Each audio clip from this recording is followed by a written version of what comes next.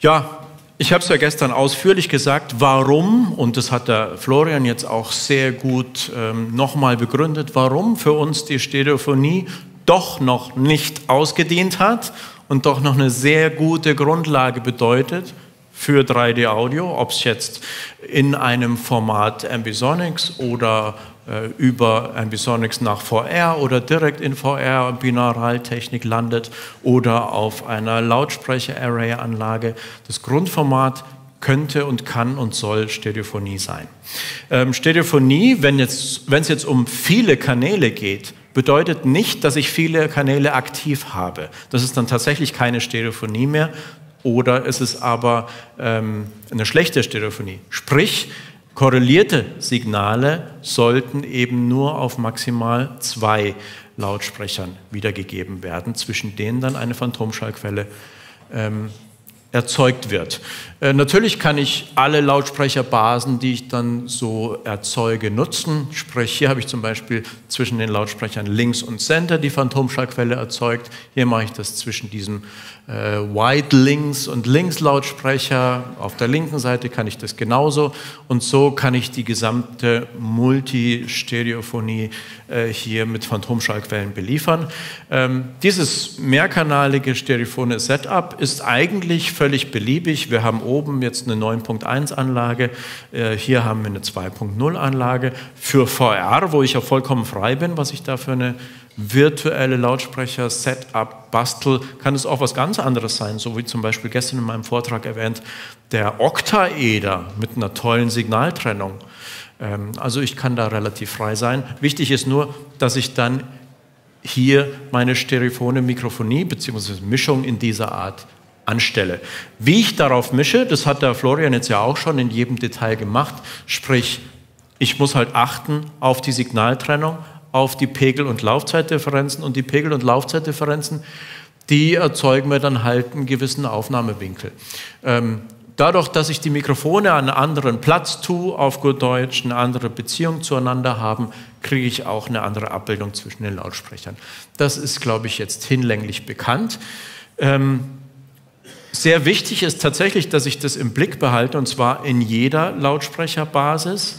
Und äh, da kann ich jetzt diese Lokalisationskurve anschauen. Das ist jetzt zum Beispiel die XY-Abbildung, so wie sie aus dem Image Assistant zu errechnen ist.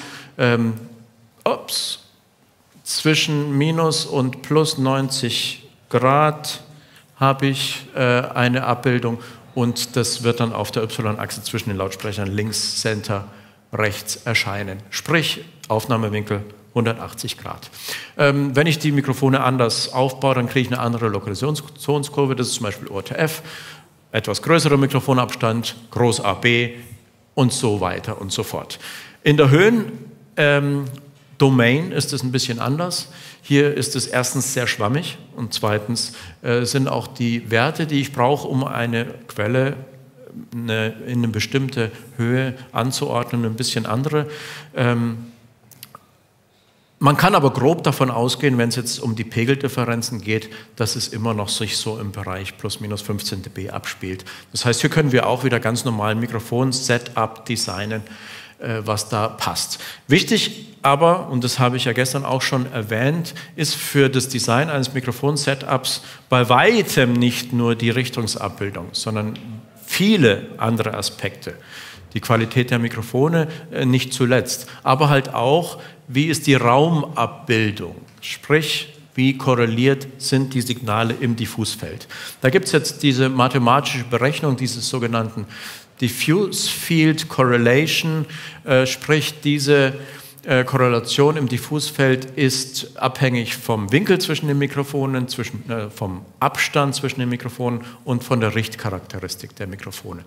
Und äh, auch das ist im Image Assistant beinhaltet, weil es eben eine wichtige ähm, Maßzahl ist. Hier sieht man die Korrelation im Diffusfeld für ein XY-Mikrofon, die ist relativ hoch, das heißt, es wird relativ eng klingen und wenig diffus.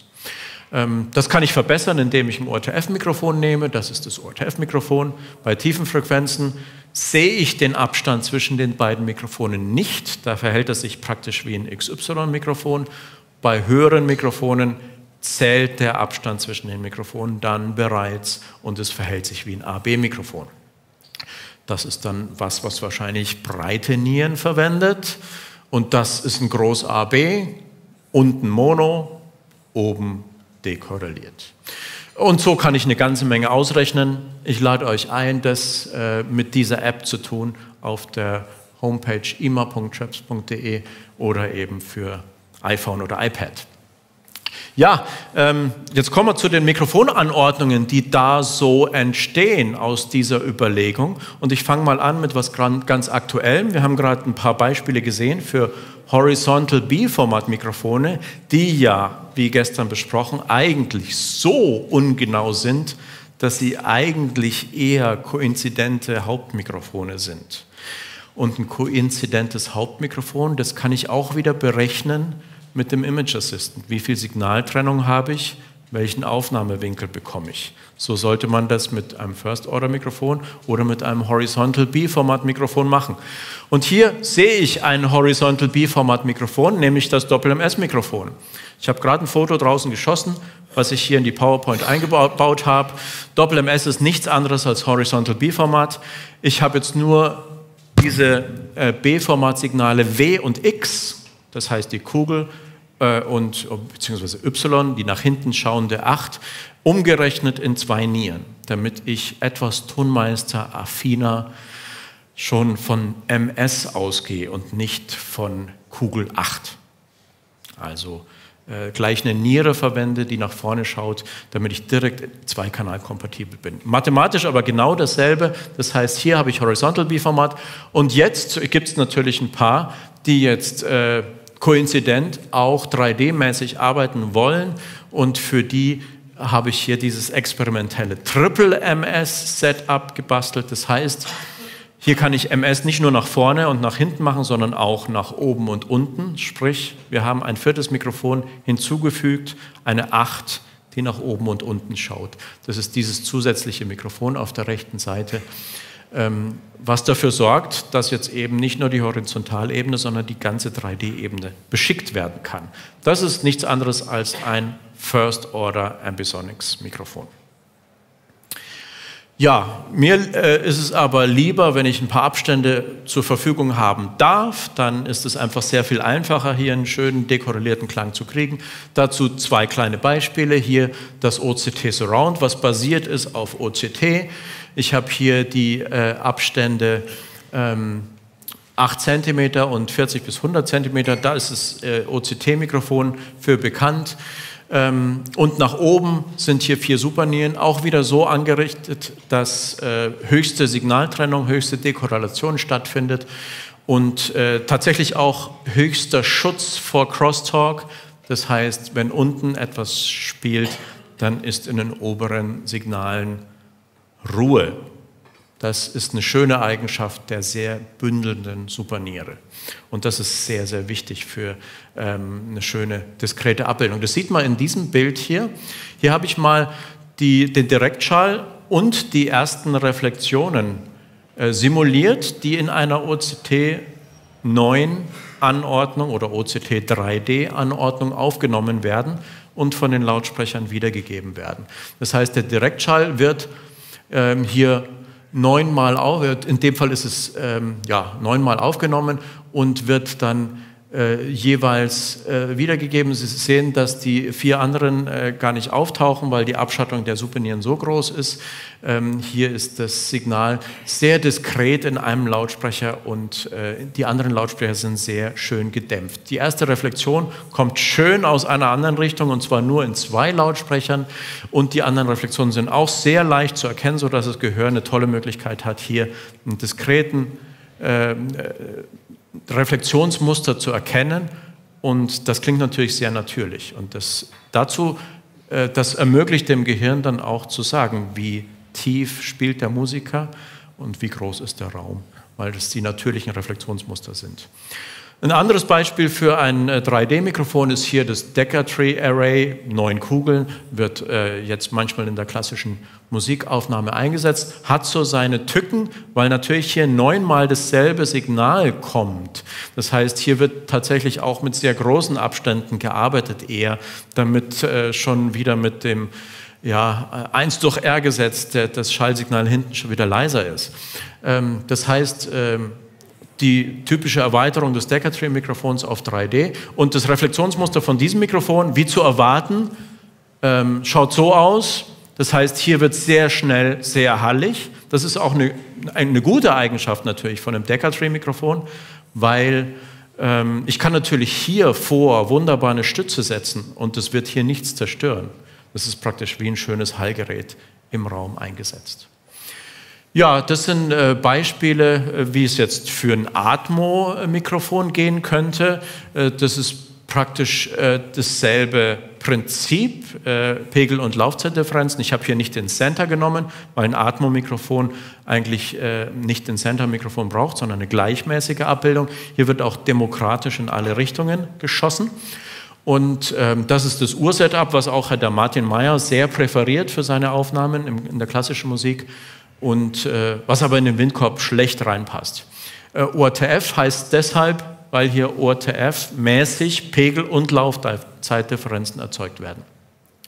Für die Fußballleute und auch für die Atmo-Leute, die das im Windkorb mitnehmen wollen, haben wir uns dann äh, der, äh, des Wissens zunutze gemacht, dass in der Vertikalebene die Trennung nicht ganz so wichtig ist wie in der Horizontalebene, weil hier unsere Ohren sind.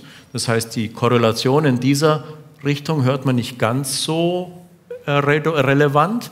Das heißt, wir konnten da ein XY draus basteln, was man hier sieht. Und ähm, der Rest der Geometrie ist geblieben. Das sieht man nochmal hier. Ähm, ORTF 3D schaut jetzt genauso aus, dass wir hier diese vier Supernieren haben. Schaut genauso aus wie ORTF Surround in der Draufsicht. Und wir haben diese vier XY-Pärchen, die dann aus dem Ganzen ein 3D-Mikrofon machen.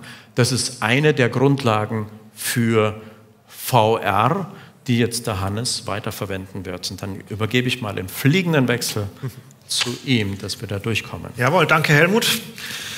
Wie gesagt, Hannes Dieterle ist mein Name. Ich freue mich sehr, dass ich heute hier auch was reden darf. Also ich wurde ja schon sehr gut vorbereitet von Florian Kamera und Helmut ähm, zum Thema 3D-Stereophonie. Ich gehe jetzt noch ein bisschen spezieller auf äh, die 3D-Stereophonie und andere Techniken äh, bei VR ein.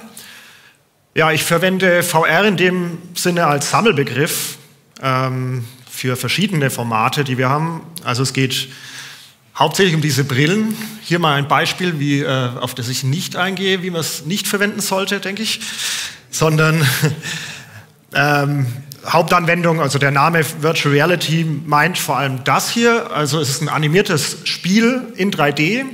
Das ist interaktiv.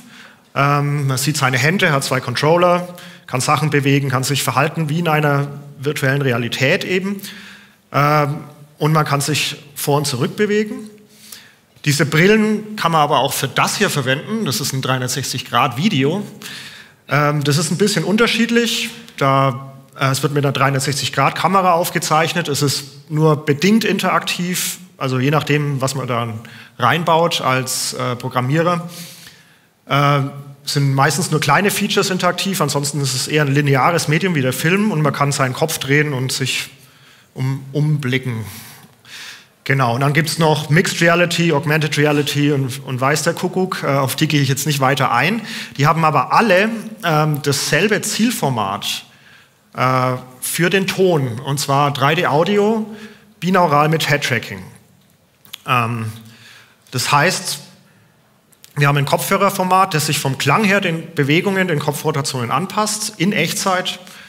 Und ähm, ja, man könnte sich da durchaus auch ein Lautsprecher-Setup vorstellen für diese Anwendung, wäre aber aufgrund der Größe ähm, und der Praktikabilität nicht besonders sinnvoll. Außerdem hätte man den Raum noch mit drauf und man könnte keine große Nähe darstellen. Oder, äh, deswegen ist binaural mit Head-Tracking unser Mittel der Wahl für VR. Ähm, ja, wie bekommt man das hin? Wie kriegt man so ein binaurales Signal? Da gibt es die sogenannten Spatializer-Plugins. Ich habe hier mal ein paar verschiedene ähm, kommerzielle Spatializer hingepostet. Äh, es sind bestimmt nicht alle, aber die, die mir so äh, bekannt sind im Weiteren. Ähm, ja, was machen diese Spatializer? Sie sind ein Plugin für eine Games Engine, wie zum Beispiel Unity. Ähm, das sieht dann relativ unspektakulär aus. In Unity äh, wählt man in dem Audio Manager einfach ein Plugin aus, das man vorher installiert hat, hat dann ein paar Optionen und äh, den Rest macht eigentlich äh, das Plugin für einen. Man muss den Ort angeben, wo man eine virtuelle Klangquelle äh, positioniert in dem virtuellen Raum, kann dann, hat dann noch Raummöglichkeiten und so weiter. Ähm, hinter dem Vorhang passiert im Grunde das hier. Also wir haben eine, eine virtuelle Klangquelle da oben. Äh, wir haben Metadaten, nämlich den Abstand, den Winkel, und zwar in 3D. Also wir haben den Azimutwinkel und den Elevationswinkel. Und unser Spatializer berechnet dann ähm, die Signale für das linke und das rechte Ohr in Echtzeit. Ja, ähm, genau. Und was, müssen, was für Signale sind das überhaupt? Also äh, in der Virtual Reality Anwendung, was haben wir da für Signale? Ähm, ich habe die jetzt mal als Klangelemente wieder aufgeteilt in VR und 360-Grad-Video. Ähm, das sind im Grunde zum, zum einen Objektsounds, also Dialog, Geräusche, Foley-Sounds, äh, ein bisschen Effekte in Mono. Ähm, Effekte, habe ich darunter geschrieben, kann so ziemlich alles sein. Das kann was Programmiertes sein, das kann eine Binaural-Kunstkopfaufnahme äh, sein. Ähm, und dann gibt es was, was sehr wichtig ist für VR-Produktionen, das ist Atmo. Atmo erzeugt uns Immersion, da komme ich auch später noch darauf äh, zu sprechen, deswegen für unser Medium hier sehr wichtig. Beim 360-Grad-Video ist es genau dasselbe. Da kommt nur aus praktischen Gründen eins dazu, das ist ein, im Grunde ein 3D-Hauptmikrofon. Warum? Wir haben einen Bezugspunkt durch, das, durch die 360-Grad-Kamera, ähm, an welchem der Klang besonders interessant ist. Das haben wir bei VR nicht. Deswegen ist es hier gut, schon mal äh, Direktschall und Atmo an einer Stelle aufzuzeichnen. Das kann man auch für eine Musikanwendung machen. Äh, deswegen kommen dann auch Stützen dazu.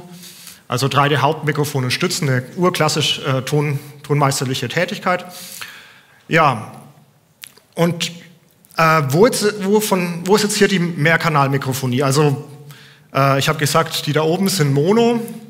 Effekte, das kann alles Mögliche sein, ähm, äh, können wir nicht pauschalisieren, aber Mehrkanalmikrofonie ist vor allem äh, bei Atmo und 3D-Hauptmikrofon, äh, beim 3D-Hauptmikrofon entscheidend.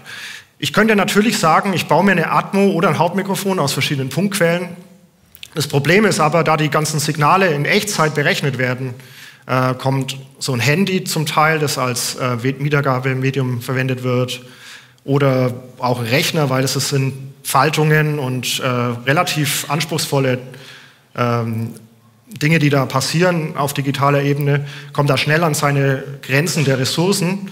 Deswegen muss man da ein bisschen einsparen mit der äh, Anzahl der Audioobjekte. Deswegen ist die Mehrkanalmikrofonie hier sehr nützlich, weil da braucht man nicht so viele Quellen.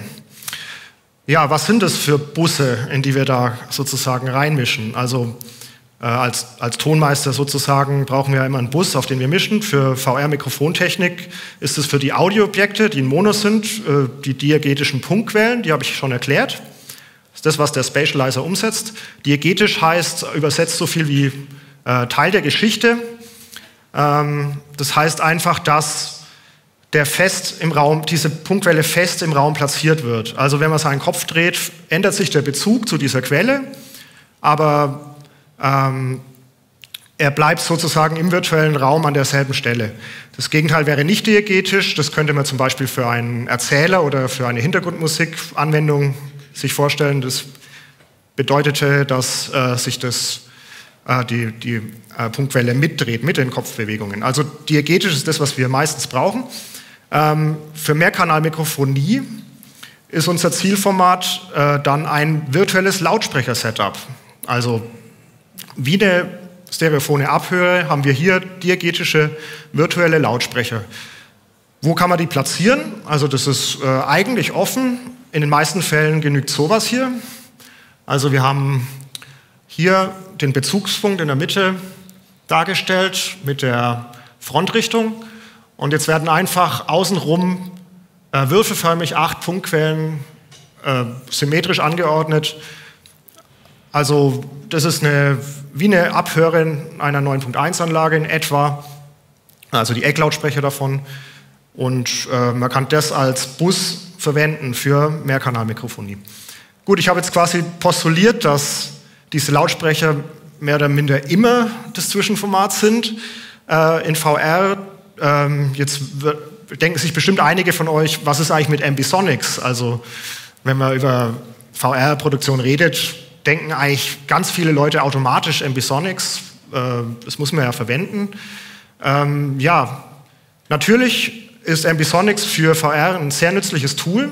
Also Florian Kammer hat schon gesagt, man kann damit sehr gut Rotationen gestalten zum Beispiel äh, und andere Dinge noch machen. Ähm, es ist auch, äh, insofern hat Ambisonics einen großen Vorteil in der Schallfeldreproduktion im Vergleich zur Wellenfeldsynthese, dass es im Sweet Spot besonders gut funktioniert und für VR können wir den Sweet Spot uns hinlegen, wo wir ihn wollen, nämlich da, wo der Hörer ist im besten Fall. Ähm, aber der Begriff Ambisonics sorgt in sozialen Medien und in Diskussionsforen oft für Verwirrung. Viele Leute denken, okay, wenn ich Ambisonics verwenden will, brauche ich ein Ambisonics-Mikrofon. Äh, ist ganz klar. Äh, wir, also eigentlich ist Ambisonics was sehr vielseitig ist, kann also unterschiedliches bedeuten. Es kann sein, dass es kann sich tatsächlich um ein Mikrofonarray handeln. Es kann aber auch ein Bus sein, auf den man mischt. Ist wahrscheinlich die bessere Anwendung wahrscheinlich äh, im VR-Bereich oder das Wichtigste eigentlich, über das man reden muss im VR-Bereich. Ähm, es kann auch ein Dateiformat sein, ein, äh, also eine Ausgangs- oder Eingangsdatei. Es kann sich um Ambisonic-Effekte drehen. Man kann über den Ambisonics Encoder oder Decoder reden. Also Ambisonics kann vieles bedeuten. Man braucht kein A-Format Ambisonics-Mikrofon, um mit Ambisonics zu arbeiten in der VR-Technik. Ich erläutere das mal anhand von ein paar Beispielen der Anwendung. Also wir haben jetzt hier ganz links das Mikrofonarray und rechts den Ausgang. Und das erste Beispiel ist äh, ein First-Order Ambisonics-Mikrofon, das zu einer Games Engine geleitet wird und dann letztendlich zu einem Spatializer, der daraus ein äh, kopfbezogenes äh, Binauralsignal erzeugt. Also wenn wir ein First-Order Ambisonics-Mikrofon haben, ich habe hier drei verschiedene mal dargestellt, das ist ein Tetraeder-Mikrofon, das ist das gängigste dieser Mikrofone. Ähm, das erzeugt ein A-Format-Signal, dann gibt es auch natives B-Format-Mikrofon, kann man aufbauen, man kann ein Triple MS aufbauen, da hat Helmut gerade kurz was darüber erzählt. Ähm, und dieses äh, Rohformat kann man dann encodieren in ein First-Order Ambisonics B-Format. Und das ist im Grunde jetzt ein Zwischenformat, also ein Bus, mit dem wir arbeiten. Also kein First-Order Ambisonics Mikrofon mehr. Jetzt hier sind wir quasi schon in einem Zwischenformat Ambisonics. Gut, was machen wir dann damit? Äh, letztendlich müssen wir es ja dekodieren, damit es wieder auf die Kopfhörer kommt. Was ist jetzt, äh, was ist jetzt hier das Zielformat, äh, bevor wir es an den Specializer weitergeben? Das Zielformat sind wieder unsere virtuellen Lautsprecher, über die ich schon geredet habe. Und diese können dann als Punktquellen jeweils an den Specializer weitergegeben werden in den verschiedenen Richtungen und das summiert ergibt dann das Kopfhörersignal. Manche dieser ähm, Spatializer-Plugins haben auch schon einen Ambisonics Bus Input, was macht man dann mit dem B-Format? Man routet es einfach hin, ist klar, ganz einfach. Intern macht aber dieser Spatializer wieder genau dasselbe. Er dekodiert auf die virtuellen Lautsprecher und setzt diese dann einzeln wieder um. Da gibt es Methoden, Bruce Wiggins hat es zum Beispiel vorgestellt, dass man das direkt umrechnen kann, aber das ist im Grunde nur eine mathematische Vereinfachung. Faktisch passiert eigentlich immer das, dass dieses B-Format über diese virtuellen Lautsprecher ähm, zum Spatializer weitergegeben wird. Wenn wir jetzt ein Higher Order Ambisonics Mikrofon haben, also Ambisonics der Ordnung 2 oder höher, ähm, dann verwenden wir als Zwischenformat ein Higher Order Ambisonics äh. Also genau dafür gibt es spezielle Encoder, die kommen meistens mit dem Mikrofon mit, also eine bestimmte Anzahl von Halbkugeln oder Nieren wird da äh, über den Encoder auf dieses Zwischenformat umgesetzt. Und was machen wir dann hier mit dem äh, Decoder in welches Zielformat gehen wir hier? Es sind wieder die virtuellen Lautsprecher. Gut, jetzt hier ist es wieder ein Würfel. Äh, für Higher Order Ambisonics gibt es bestimmt auch noch bessere Möglichkeiten. Da könnte man sich die, äh, die Flächen eines Icosaeders vorstellen, also ein, ein, Körper, der mehr Punkte hat, die äquidistant sind. Ja, und die geben wir dann wieder einzeln als Punktquellen an den Spatializer weiter. Für ein stereophones Array Florian Kammer hat schon gesagt, ähm, kann man das genauso machen. Ähm, in dem Fall wird es sogar noch einfacher. Also wir haben hier das Beispiel vom ORTF 3D. Das ist achtmal Superniere. Das können wir eigentlich direkt auf diese virtuellen Lautsprecher hinrouten und die dann einzeln äh, als Punktquellen an den Specializer weitergeben. Ja, jetzt ist äh, der Specializer nicht die einzige Anwendung, die wir hier brauchen. Ich, äh, für 360-Grad-Videos zum Beispiel ist auch ein 360-Grad-Videoplayer wichtig. Ich äh, nehme jetzt wieder als Beispiel mal YouTube. YouTube hat einen First-Order Ambisonics Bus-Eingang, ähm, also die Kanäle W, X, Y und Z. Ähm, wenn wir jetzt wieder ein First-Order Ambisonics Mikrofon haben, wie eins dieser drei, dann müssen wir wieder dieses Zwischenformat B-Format einfach dahin routen. Was macht YouTube intern? Wieder genau dasselbe. Es wird in äh, virtuelle Lautsprecher umgesetzt über den Decoder und dann werden diese Punktquellen mit HRTFs gefalten und es wird ein Kopfhörersignal rausgemacht. Also auch hier haben wir die virtuellen Lautsprecher. Gut, Vorschau habe ich hier geschrieben, Higher Order Ambisonics zu YouTube. YouTube hat es noch nicht äh, für alle zugänglich gemacht. Die schreiben auf ihrer Website, ähm, dass it, it will support higher order ambisonics, 9 plus channels in audio in the future. Also sie wollen das machen.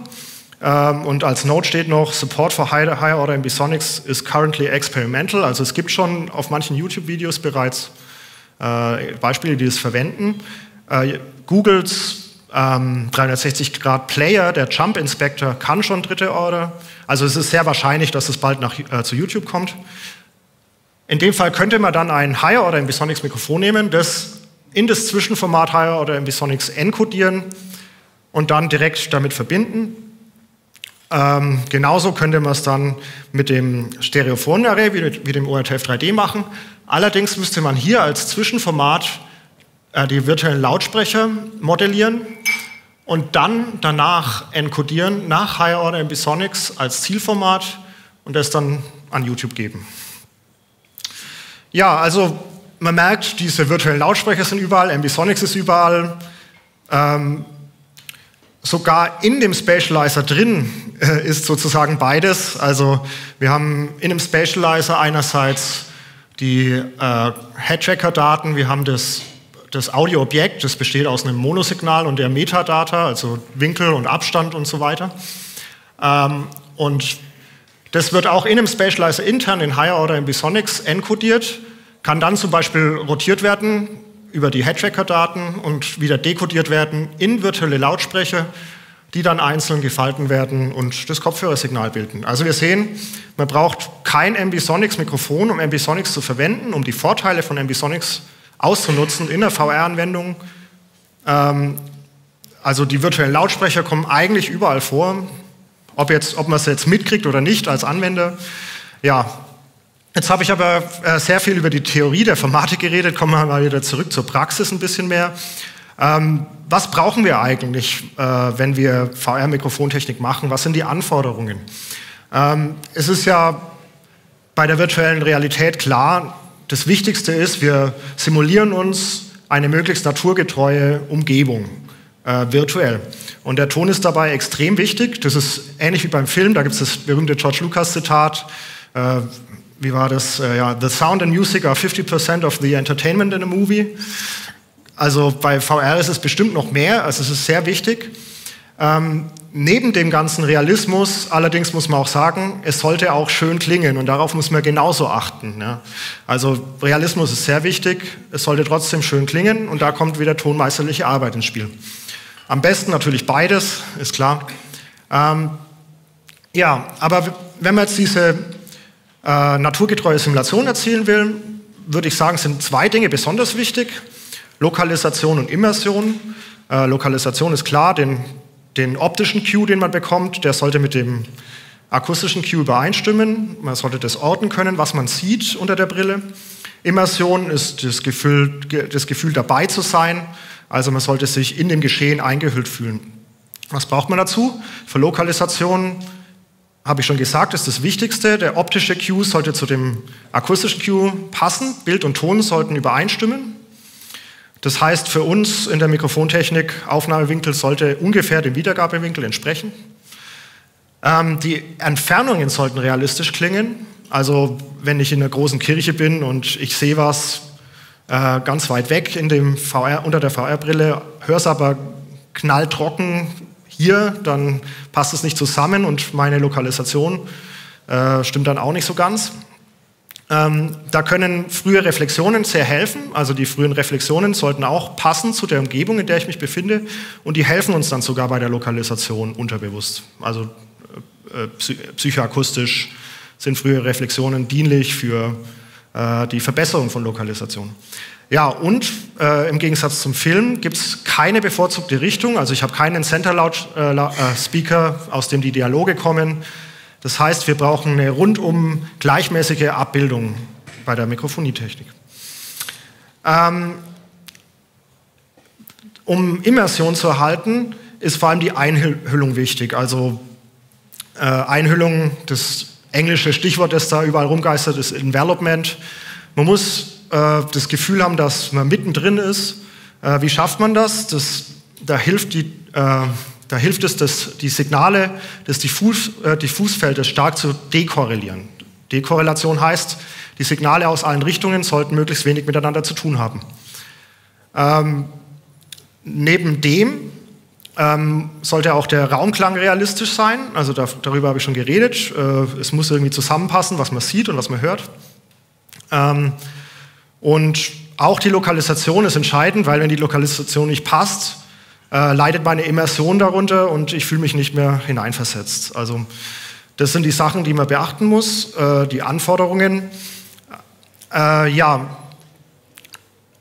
äh, wie setzen wir diese Anforderungen jetzt um für Mehrkanalmikrofonie, also für die Atmo und für die Hauptmikrofon-Anwendung? Ich habe die jetzt mal in vier Gruppen aufgeteilt. Äh, da gibt es vier Systeme würde ich mal sagen, so grob. Vielleicht gibt es noch mehr, die ich nicht kenne, aber das sind die vier, auf die ich mich jetzt beschränke. Einerseits die First-Order Ambisonics-Mikrofone, die Higher-Order Ambisonics-Mikrofone, äh, 3D-Stereophonie und zusammengesetzte Stereophonie. Ich werde euch jetzt zu all diesen Beispielen kurz die Funktionsweise, Vor- und Nachteile aufzeigen äh, und dann wird es auch was zu hören geben. Ähm, gehen wir zuerst zu den First-Order Ambisonics-Mikrofonen. Die funktionieren im Grunde äh, man erzeugt Gradienten erster Ordnung im Decoder durch Beamforming, heißt so viel wie, wir erzeugen uns ein virtuelles Mikrofon, das ist irgendwo zwischen Kugel und 8, das könnte eine Superniere sein zum Beispiel. Und es ist ein koinzidentes Verfahren wie ein XY-Mikrofon. Und das, äh, die Sache ist halt die, äh, dadurch, dass es nur Gradienten erster Ordnung sind, also irgendwas zwischen Kugel und 8, sind die Beams auch nicht besonders scharf. Das heißt, wir haben eine relativ hohe Kanal, äh, Kanalkorrelation, die man damit erhält. Vorteile sind klar, sie sind sehr klein und handlich. Man kann sie schnell mal in den Rucksack packen. Äh, für 360-Grad-Videos das ist super, man kann sie gut verstecken, ähm, weil das, das, äh, die 360-Grad-Kamera ja in, überall hinblickt, braucht man Punkte, äh, wo man so ein relativ kleines Mikrofon gut verstecken kann. Also das hilft uns. Äh, des Weiteren haben wir wenig Kanäle. Es sind vier Kanäle, die wir aufzeichnen müssen. Man braucht einen kleinen Recorder, man hat nicht so viele äh, Files am Ende und äh, braucht nicht so viel Rechenleistung und so weiter. Sie sind verhältnismäßig günstig zu allem anderen, was man so verwenden kann. Ähm, aber sie haben halt auch Nachteile. Äh, der den einen Nachteil, da hat Helmut gestern was dazu erzählt, der Sweet Spot ist in den meisten Fällen kleiner als der menschliche Kopf. Ähm, das auch damit zu tun hat, dass die Auflösung, äh, die, wir, die wir brauchen, um dekorrelierte Atmosignale zu erstellen, einfach nicht äh, ausreichend ist. Wir haben zu viel Kanalkorrelation, das, äh, das führt dann zu einer limitierten Einhüllung und auch, was noch viel schlimmer ist, zum Teil zu Kampffiltern, wenn man, sich, wenn man den Kopf dreht. Also äh, wenn korrelierte Kanäle aus den Richtungen kommen von den, von den virtuellen Lautsprechern und man addiert die auf an den Ohren. Ähm, kann man sich vorstellen, wenn es korreliert ist, entstehen Kampffilter. Und wenn man dann den Kopf dreht, verschieben sich diese Kampffilter. Und das ist ein Facing-Effekt, der sehr unschön klingt. Deswegen äh, gibt es natürlich die Lösung, man nimmt Higher-Order-Ambisonics-Mikrofone. Ähm, die funktionieren ähnlich. Sie machen auch Beamforming zur Kanaltrennung. Es ist auch ein nahezu koinzidentes Verfahren, also die Abstände hier sind schon vorhanden, äh, aber sie sind nicht besonders groß. Also in, in dem größten Frequenzbereich haben wir hier auch ein koinzidentes Setup. Aber, und das ist entscheidend, hier sind scharfe Beams möglich. Das heißt, wir können tatsächlich äh, dekorrelierte Kanäle erzeugen. Ähm, ja, vorteilig, sie sind ebenso relativ klein. Ähm, wie gesagt, man kann eine relativ gute Räumlichkeit erzeugen, weil die Kanäle sehr gut dekorreliert sind. Nachteilig, äh, wir haben hier ganz viele Mikrofone, das heißt halt, äh, also Wandler, äh, das schlägt sich einfach im Preis nieder. Wenn ich äh, eine Unmenge von Wandler brauche, kostet das Ding einfach Geld. Und weil diese äh, ebenso viele Wandler da sind, muss man dann wieder ein bisschen an der Qualität dieser Wandler sparen.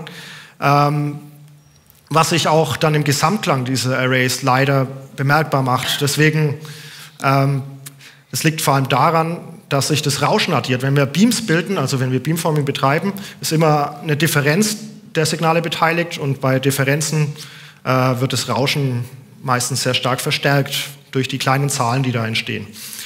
Ja, äh, dann gibt es noch die 3D-Stereophonie. Die funktioniert äh, haben wir jetzt schon ein paar Mal gehört beim Mikroforum hier, ähm, indem er Abstände dazu nimmt. Also nicht jede Stereophonie natürlich, aber die 3D-Stereophonie, die wir äh, für gut befinden, für eine VR-Anwendung, nimmt Abstände mit dazu. Was, äh, was macht es mit dem Gesamtklang? Wir haben nicht mehr nur Pegeldifferenzen, wir bekommen auch noch Laufzeitdifferenzen. Und ähm, erzeugt natürlich eine höhere Kanaldekorrelation und wir brauchen nur eine begrenzte Anzahl von Schallwandlern im Vergleich zum Higher-Order-Ambisonics-Mikrofon. Äh, reichen hier zum Beispiel beim ORTF 3D 8. Ähm, das heißt, wir können auch viel hochqualitativere Wandler verwenden. Oder weniger qualitative und dann Geld sparen, ist auch möglich, kann man natürlich auch machen. ähm, Vorteile, habe ich schon gesagt, wir kriegen eine gute Kanaldekorrelation, wenn das Stereophone Array entsprechend gut aufgebaut ist kann in einem optimalen Raumklang resultieren. Äh, und wenn dieses stereophone Setup gut aufgebaut ist, bekommen wir auch eine gute Lokalisation hin, die jetzt nicht schlechter sein muss als ein Higher-Order-Ambisonics-Mikrofon oder ähnliches. Ähm, Nachteile, wenn man gute Wandler verwendet, ist es auch relativ teuer. Äh, durch die Abstände kommt natürlich eine größere Gesamtgröße hinzu. Dadurch wird es weniger transportabel, weniger leicht zu verstecken für 360-Grad-Videos, also man hat einfach ein größeres Drum, mit dem man umgehen muss. Gibt es jetzt für 360-Grad-Videos schon Lösungen? Man kann Video-Stitching betreiben, einmal ohne das äh, Mikrofon einen Shot machen, einmal mit und dann das zusammensetzen nachher. Gibt es Lösungen, aber das sind die, die man ansprechen muss. Wir denken trotzdem, dass wir, um unsere zwei Hauptanforderungen bei VR zu erfüllen, das stereophone Ansatz der beste ist. Einfach, ähm, weil er am besten klingt. Und das ist ja auch wichtig.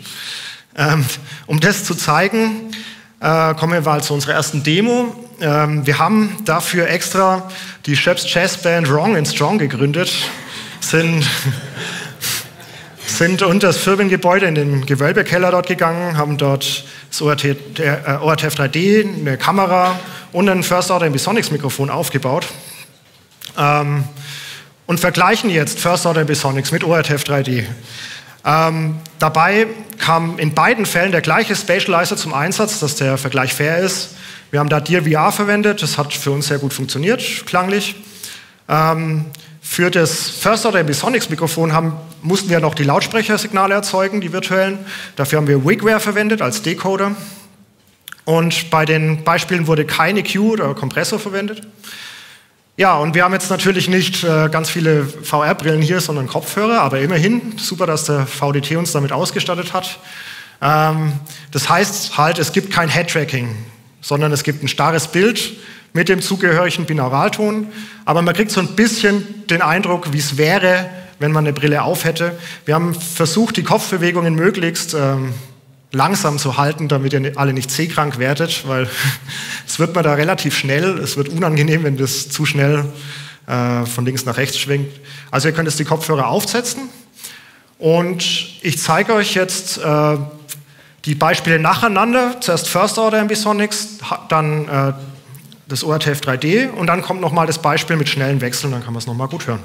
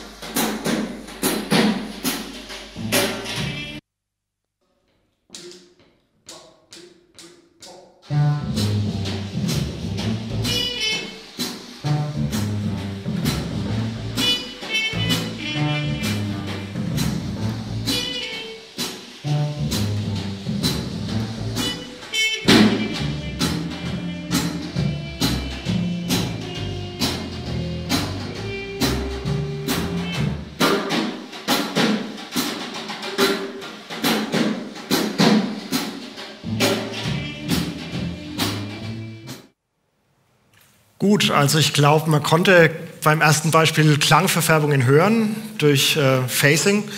Ähm, zum, äh, beim ORTF 3D, das klang vielleicht ein bisschen weniger auffällig, aber äh, wesentlich natürlicher. Ähm, die Einhüllung funktioniert viel besser, weil, ich weiß nicht, ich, irgendwas hat gerauscht im Raum, gell, man hat ein bisschen das durchgehört, aber ja.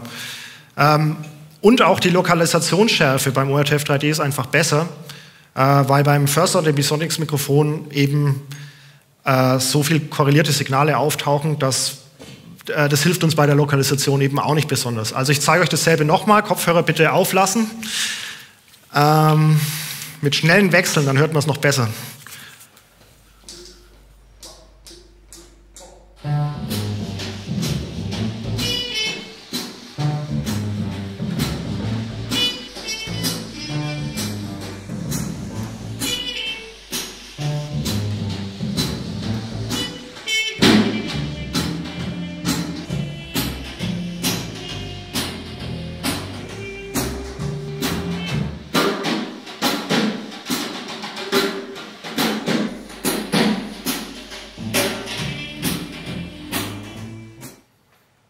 Gut, also man muss natürlich dazu sagen, für First Order Emisonics war das jetzt auf jeden Fall ein Worst-Case-Szenario. Wir haben diese breitbandige Snare Drum, die das komplette Spektrum ausfüllt und da hört man die Kammfilter natürlich sehr gut.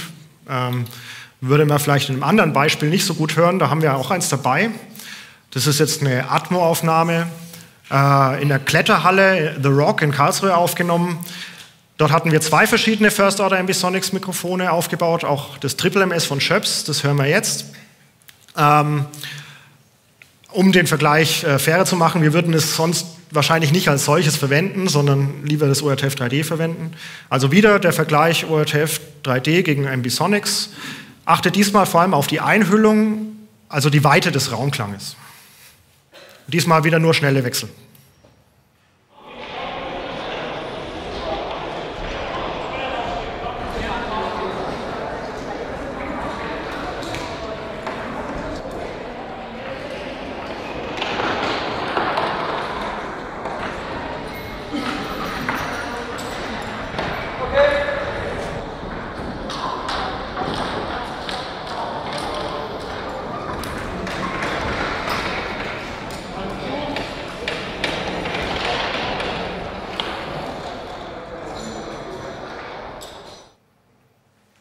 Ja.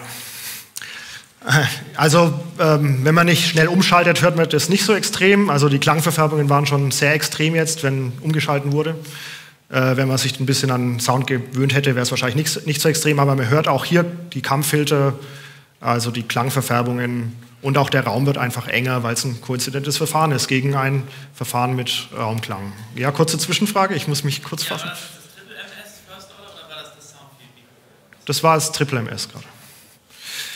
Gut, Wir haben nämlich noch eine Rubrik, und die muss ich noch äh, abarbeiten, sozusagen. Die äh, kann man als zusammengesetzte Stereophonie bezeichnen. Ähm, die bietet sich einfach sehr gut an für die Anwendung VR oder vor allem 360-Grad-Videos. Ähm, manche nennen das auch irgendwie Quad Stereo oder irgendwas. Also wir haben, ich habe hier mal eine kleine 3D, äh, 360-Grad-Szene äh, skizziert. Da packen wir jetzt einfach eine Kamera rein, das kann jetzt eine normale Kamera sein, muss keine 360-Grad-Kamera sein, und fixieren daran äh, an, an, einem, an, einer Bar oder so ein stereophones Setup mit entweder zwei Kanälen oder vier Kanälen, wenn man die Höhe mit dazu nehmen will. Also im Idealfall vielleicht ein XY, das nach oben und unten schaut, in ORTF-Ausrichtung. Ähm, und was macht man dann? Man filmt zuerst die eine Richtung, ähm, schaut, bis das alles passt aus dieser Richtung, bis man im Grunde äh, ein Ergebnis hat, mit dem man zufrieden ist. Dann geht man zur nächsten Richtung, filmt da die dritte Richtung und die vierte Richtung, nimmt man auch noch mit, alles hintereinander und kontrolliert. Dann darf man auch den Boden und die Decke nicht vergessen, am besten ohne Stative und, was da, und Füße. Und dann setzt man das in der Postproduktion zusammen. Ähm, da kann man wieder zum Beispiel unsere würfelförmigen stereophonen Lautsprech äh, virtuellen Lautsprecher hernehmen und man routet dann entsprechend der Blickrichtung, das sind diese vier umliegenden äh, Kanäle der, des, der Würfelseite sozusagen, also die unteren des Stereophon-Setups zum unteren und das obere jeweils zum oberen. Und dann macht man das für die anderen Richtungen genauso. Und das Video stitcht man zusammen in der Postproduktion. Ähm, warum macht man das? Ähm, der wichtigste Grund, denke ich, ist, es gibt ein hinter der Kamera plötzlich, also ein, einen Ort, wo man, äh, den man nutzen kann in der Produktion, zum Beispiel für Lichttechnik, für den Regisseur, der Regieanweisungen gibt, äh, für das ganze andere Aufnahmeequipment und so weiter. Das muss man jetzt nicht mehr verstecken. Man hat einen Ort, an dem das, äh, die Kamera nicht hinblickt. Der zweite Grund ist, man kann die Produktion so gestalten, dass man eben die besten Takes aus den äh, verschiedenen Richtungen nimmt, um das dann zusammenzusetzen. Was man dadurch erzielt, ist natürlich eine extrem hohe Kanaldekorrelation für die verschiedenen Richtungen. Es sind komplett zu unterschiedlichen Zeitpunkten aufgenommen. Heißt auch, die korrelieren, äh, dekorrelieren komplett. Das hat nichts miteinander zu tun. Äh, ich zeige euch das gleich mal wieder mit Kopfhörer, wieder in der Kletterhalle. Das Video ist jetzt natürlich ein anderes, weil man kann nicht gleichzeitig das gleiche Video aufnehmen, wenn man viermal hintereinander ein Video aufnimmt. Deswegen haben wir auch die Kopf, äh, Kopfrotation jetzt ein bisschen anders gemacht. Ähm,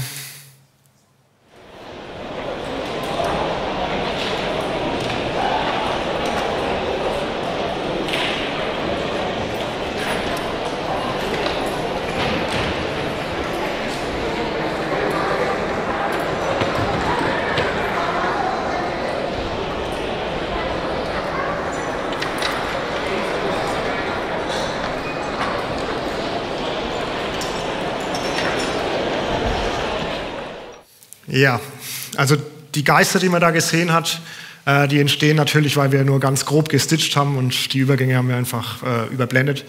Ähm, ich denke, man hat gehört, es ist relativ dekorreliert vom Klang her. Ähm, äh, aber Problem sind natürlich Reflexionen. Ja, wir haben, ähm, ich überspringe das mal, wir haben eine sehr hohe Kanal-Dekorrelation. Ähm, das ist der Vorteil erstmal. Der andere Vorteil, den habe ich schon gesagt, äh, gute Lokalisation, nee, den habe ich noch nicht gesagt, Entschuldigung. Gute Lokalisation vorne, also wenn wir ein entsprechendes stereophones Setup aufbauen, funktioniert die Lokalisation vorne auch gut. Ähm, man kann die Mikrofontechnik beliebig erweitern, also man kann da als Tonmeister sich alles Mögliche ausdenken, Raummikrofone, Close Mics, äh, irgendwelche Funkmikrofone ähm, und eben ein Hauptmikrofon, was man möchte. Und es ist praktisch, nachteilig ähm, muss man sagen, es ist viel mehr Postproduktion notwendig. Das kann man jetzt als Nachteil sehen. Für uns als Kreativschaffende kann es natürlich auch ein Vorteil sein, weil das ist jetzt eher der Nachteil für den Produzenten. Wir sind ja froh, wenn wir Arbeit kriegen äh, und mit der Arbeit was erreichen können, was besser ist als das, was man sonst mit einer äh, Echtzeitlösung herstellen könnte. Und das Problem sind natürlich die Reflexionen ansonsten. Wenn wir immer nur aus einer Richtung aufnehmen, nehmen wir ja nicht die Reflexionen von hinten auf in dem Moment. Äh, das heißt, unser Reflexionsmuster passt nicht wirklich zusammen. Ähm, genauso geht es der Hüllkurve äh, äh, des Diffusschalls. Also der Diffusschall soll ja so unkorreliert wie möglich sein. Die Hüllkurve des Diffusschalls allerdings, die sollte schon korrelieren, weil sonst stimmt es mit der räumlichen Wahrnehmung auch nicht. Das passt hier natürlich auch nicht, weil wir kriegen von hinten gar kein Signal äh, und da hinten haben wir gar keine Hüllkurve sozusagen, also kein Signal. Und dann, das sollte eigentlich korrelieren. Genauso die rückseitigen Übersprechungen. Wenn jetzt, während ich in die eine Richtung was aufnehme, passiert was hinten, höre ich das natürlich auf dem rechten Lautsprecher am, am Rand. Und es ist natürlich nicht dort, wo, wo der Klang eigentlich herkommt. Also ich kriege da Probleme, kann die aber alle lösen, indem ich für jede Richtung ein 3D-Audio-Array verwende. Und dann ist das eigentlich eine ziemlich gute Sache. Also wir äh, haben eine sehr hohe Kanaldekorrelation. Es klingt anständig, vielleicht ein bisschen unrealistisch, aber äh, gut, das Atmo-Beispiel, das wir gerade gehört haben, ist vielleicht nicht die beste Anwendung. Vielleicht eher ein trockener Raum ist was, wo man das sehr gut verwenden kann. Und ja, wenn man immer ein 3D-Array und Stützen sozusagen verwendet, äh, kann das theoretisch eine richtig perfekte 360-Grad-Aufnahme werden. Dafür habe ich jetzt auch noch ein Beispiel mitgebracht, also eine, wieder eine klassische tonmeisterliche Tätigkeit sozusagen. Wir haben hier ein Hauptmikrofon mit Stützen. das war ein Live-Konzert, das äh, monatlich in Karlsruhe stattfindet. Das nennt sich die 360-Grad-Session. Ist in einem Brauhaus und da stehen die Musiker in, in, der Mitte vom Raum. In der Mitte ist auch sozusagen die Kamera. Ähm, wir haben dann da noch das ORTF 3D dazu gepackt und wir haben zusätzlich, äh, die Firma Rockshop hat da den Ton gemacht und wir durften netterweise mitfilmen, äh, mit aufnehmen. Äh, wir haben dann noch die ganzen äh, Mikrofonsignale trocken dazu aufgenommen und die später dann als Audioobjekte, als Stützen sozusagen in das, in das Video mit eingefügt in Unity. Äh, da gibt es jetzt auch wieder eine Demo, also bitte wieder Kopfhörer aufziehen.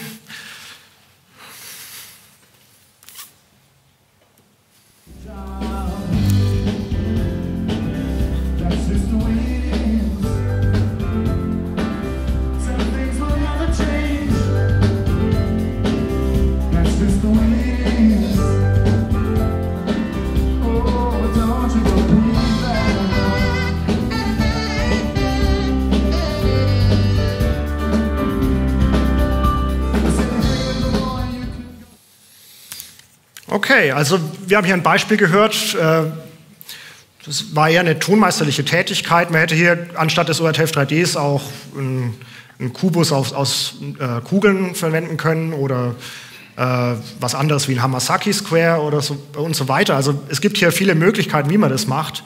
Äh, eins ist auf jeden Fall klar, man hätte jetzt hierfür kein First Order Ambisonics Mikrofon gebraucht. Also für was hätte man das jetzt hier verwendet? Vielleicht für ein paar dekorrelierte Signale in eine Richtung. Aber besser, sie haben dann Abstände zueinander. Deswegen, ja, ein Beispiel, wie man es mit Stereophonie machen kann.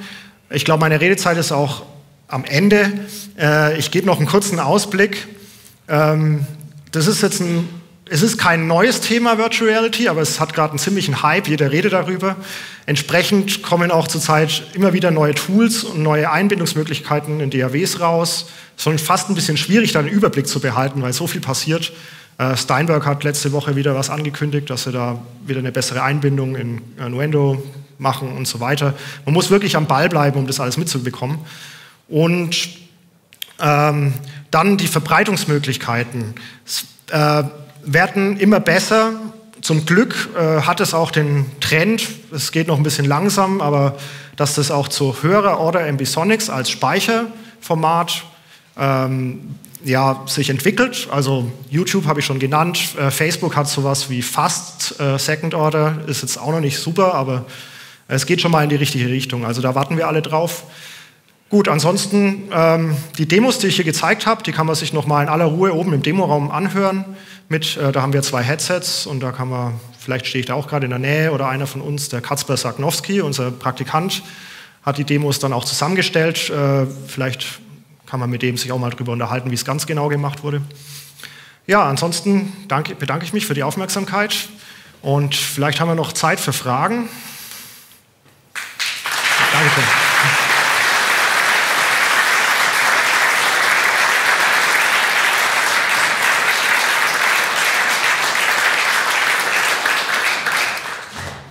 Ja, es ist noch Zeit für Fragen. Wir verschieben ja auch ein bisschen nach hinten gerade. Äh, Der Tom Frage. kann aber schon vorkommen zum Verkabeln. Tom, if you're here, we can already prepare. Ist das an? Ja. Äh, eine Frage zu First Order Ambisonics. Mhm. Ähm, ha, da habe ich natürlich eine relativ, sagen wir mal, breite Richtcharakteristik, also keine gute Trennschärfe. Äh, aber wenn ich sozusagen das virtuelle Mikrofonarray mit einem Headtracker drehe, mhm. äh, sozusagen Fehler der Lokalisationsrichtung habe ich da doch nicht, oder doch? Ähm also ich habe zwar sehr breit, also wenn ich nah beieinander stehende Quellen habe, dann kann ich die eventuell nicht gut ortungsmäßig. Gut, und dann, dann kommt noch, natürlich noch der Raum dazu. Also der hilft natürlich dann auch nicht. Äh, ähm, ich hatte jetzt überlegt, wenn ich das Bild als Info dazu habe, wenn ich die Schallquelle also sehen kann. Ja. Also jetzt im Gegensatz zu Atmo, wo irgendwo ein Vögelchen zwitschert, was ich nicht sehen kann, äh, hilft, würde mir das helfen, dass ich also sage, ja. hey, wenn ich sehen kann, dann ist es vielleicht nicht ganz so schlimm. Ja, da gibt es tatsächlich auch ein Paper erst, das ist von unserem äh, Tontechniker da hinten, vom äh, Cedric Fischer, ähm, der ist da Mitautor, der, die haben das untersucht, die haben tatsächlich geschaut, wie sehr korreliert, also wie wird die Lokalisation verbessert, wenn man Video dabei hat und wie ist es, wenn man es nicht dabei hat. Und es ist tatsächlich ganz klar, dass es äh, die Lokalisation in der Wahrnehmung verbessert, wenn man das Bild dabei hat. Ja. Das war das Ergebnis, das kam da sehr klar raus. Sonst noch Fragen? Da hinten?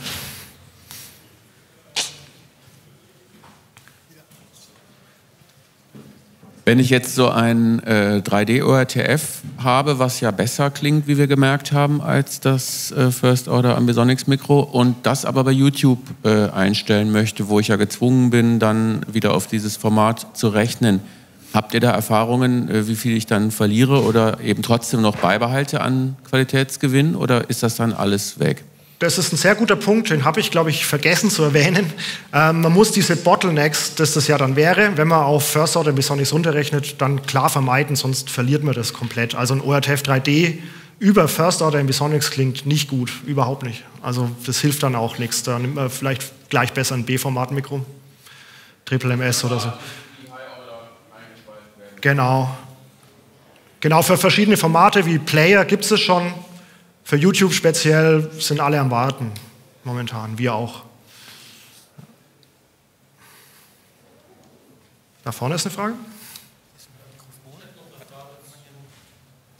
Ich hätte noch eine Frage zur äh, zusammengesetzten Stereophonie. Mhm. Da würden sich doch dann die Schallereignisse auch addieren. Das heißt, jemand, der äh, beim ersten Durchgang in dieser Kletterhalle zum Beispiel zwei Meter hoch geklettert ist, der ist beim nächsten äh, Durchgang ja schon vielleicht vier Meter hoch und beim nächsten dann sechs Meter hoch. Und die höre ich ja im Prinzip dann alle, oder? Genau. Also deswegen war das wahrscheinlich auch kein gutes Beispiel. Wir werden noch mehr machen.